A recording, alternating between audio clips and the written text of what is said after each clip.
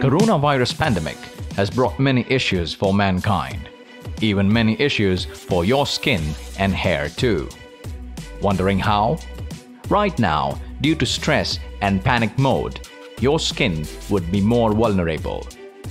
Wearing a mask can be hard on your skin, and it's causing problems that range from acne and peeling skin to rashes and itchiness and whatnot. You would be finding it difficult to take care of your skin and hair. It is more important in this time to follow all the protocols and avoid unnecessary interactions. So, in such conditions, your skin and hair require more care.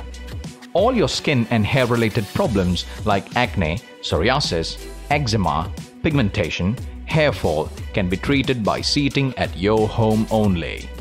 In these difficult times of coronavirus, we have come up with the option for online consultation.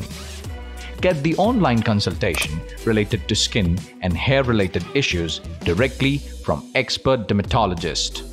Rather than suffering in silence, it is always better to consult your dermatologist. Reach out to us now. Book your online consultation. We are just a call and message away.